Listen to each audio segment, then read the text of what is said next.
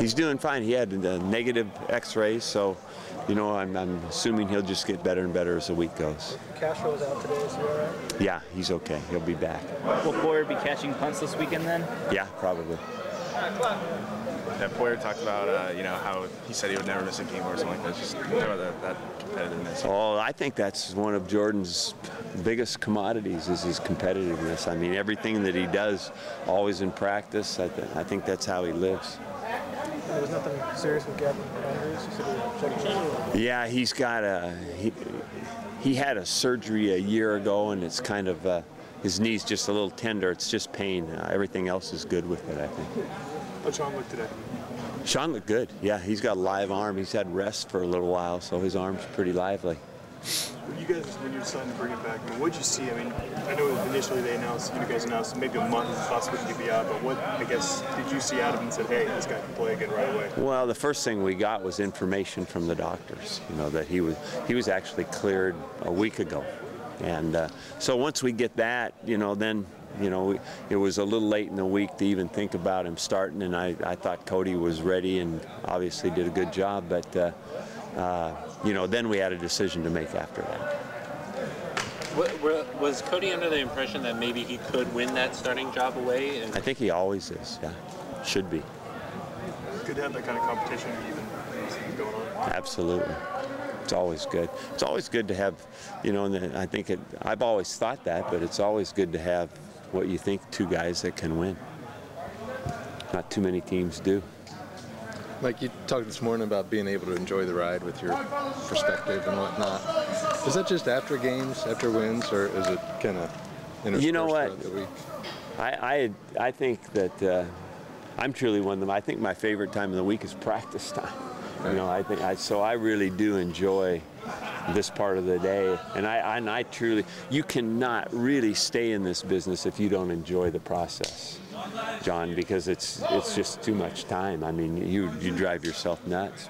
You know, we spend lots of hours each day kind of getting ready for the next day's practice. So if you don't enjoy that part, then you're going to be miserable in this business.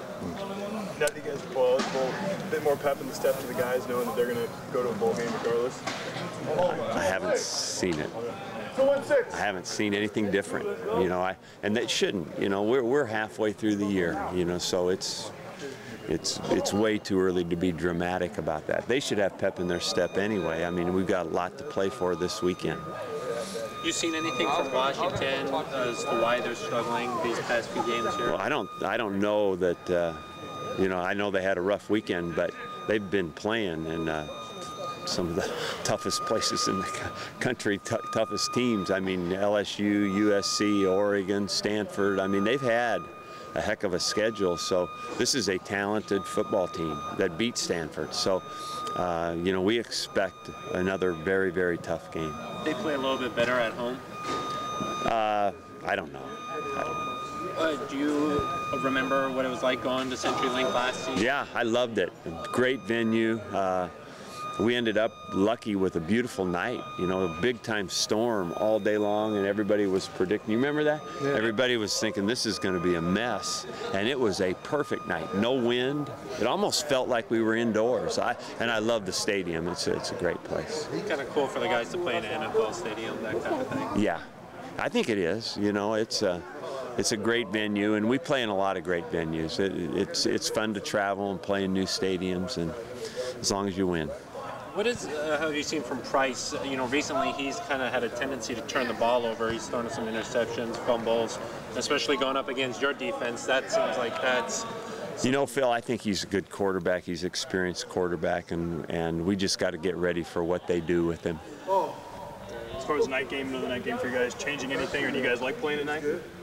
Uh, I don't. I think the players like it. You know, I don't, but it doesn't matter. Nobody asked me about it. Uh, I, it's just a long time to wait, but I think our players really enjoy it, and and uh, I think we're going to have three in a row. Last week, this week, the next week. So that's going to be that's going to be the rest of our life in this deal, You know, because we're going to be told a couple weeks in advance what time we're going to play, and that's that's it. So uh, we.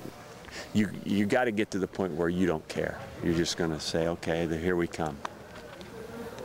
Thanks, coach. Thanks, Thanks, coach. guys.